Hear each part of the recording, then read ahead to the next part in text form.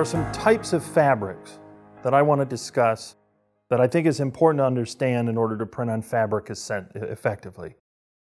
Uh, printing on soft textile requires quite a bit of understanding of soft textiles, and fabrics are different. They have different characteristics, they're constructed differently, and uh, many of them have uh, real important differences, and one of them, one of those big differences is is it coated or is it uncoated? So what I'm going to discuss a little bit today is um, the difference between an uncoated, what we call a soft uncoated fabric. Sometimes people refer to them as a dye sub fabric, and a coated fabric, and the different approaches to the two medias. Now, the first one I'm going to talk about, my friend here, the ugly dog, is a soft uncoated fabric or a soft uncoated textile. This has no specialty coating. This is widely used in the dye sublimation industry. This is an HP product. This is new. It's very nice. It's an HP light fabric. Prints beautiful. Probably falls under a category of poplin. Um, this is what most people think of, or what we generally think of when we talk about printing on fabric with a latex printer. And one of its big virtues is that it can print on this type of uncoated fabric. You know, it's really the only other types of um, technology that print on uncoated fabric is dye sublimation. And the latex printer, this generation in particular, prints with the richness and saturation and clarity that sublimation does. Now, I don't have the full scratch and scuff resistance that sublimation does, but it's still more than sufficient for most applications that you would do for, say, a trade show. This material you would traditionally use the ink collectors, but you don't necessarily have to use them.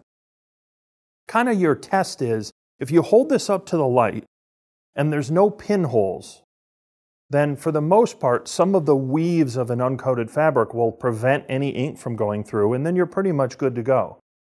Even if the pinholes are very light, you might get away with printing it without the ink collectors.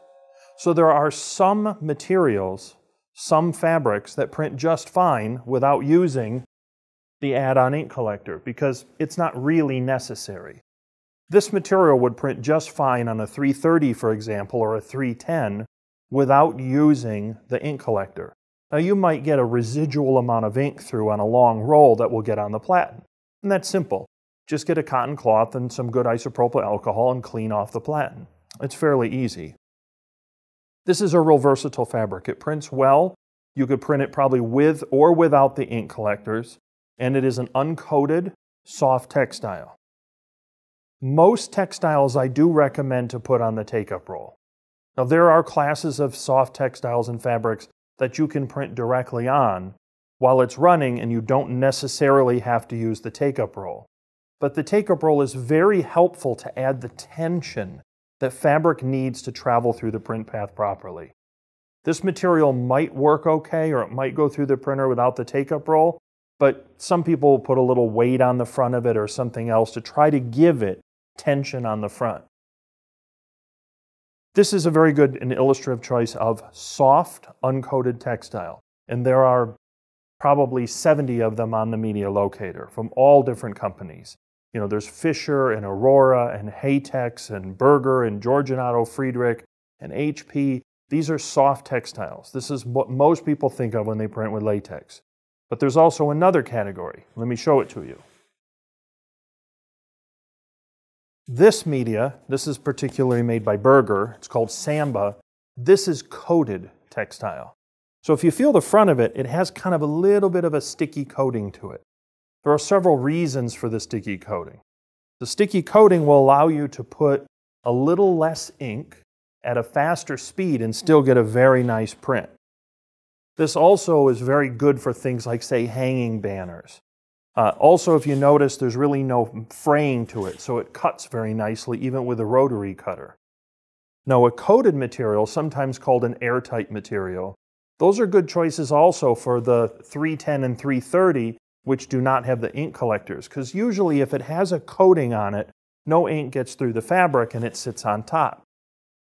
With uncoated fabrics, generally speaking, I'm going to run at 16 pass somewhere between 175% and 230% ink. I have to slow it down a little bit because you're putting more ink down on the surface in order to get the saturation in the color pot. But with a lot of coated fabrics, I can run faster, sometimes 12 pass, with 150 or 175% ink and get a beautiful print because the coating is actually helping me get a really nice deep resonance with the color and the saturation. Now this particular product does not run well at all when you put these ink collectors in. Because what happens is it actually kind of dips down into the ink collector and it doesn't allow it to lay nice and flat across the print platen. You'll get sort of elongated text from it. So I found that with the Samba material similar to this, two things are true. One, you're going to have to use the take-up reel because you need to have tension on this thinner material or it's just going to fall or fold right on itself while it prints. Also, it'll print better actually with the regular platens and putting the ink collectors in. So this type of uh, coated, soft, thin fabric, it prints beautiful, it prints at high speeds, it has great color resonance, but there's a few characteristics of it to be aware of, and one of them is it really does need a take-up roll, and then the second is it's going to print better with the regular flat platens in as opposed to the ink collector platens. Coated fabrics are widely used for things like hanging banners, um, kind of pole banners that you would see indoor, those kind of things. Also, a lot of roll up banners, they may use a coated fabric. Coated fabric is more designed, I would say, to be put up and left up because the coating can tend to crease or spider if you really work at it. Also, you'll notice a lot of backlit fabrics, soft backlit fabrics, they tend to be coated because in order to print an effective backlit fabric, you got to put quite a bit of ink down. You really need that rich saturation, and the coating is going to assist with that amount of saturation. The great part about coating is the pop and the color you get. The drawback is the coating itself can be a little sensitive or a little crease uh, prone.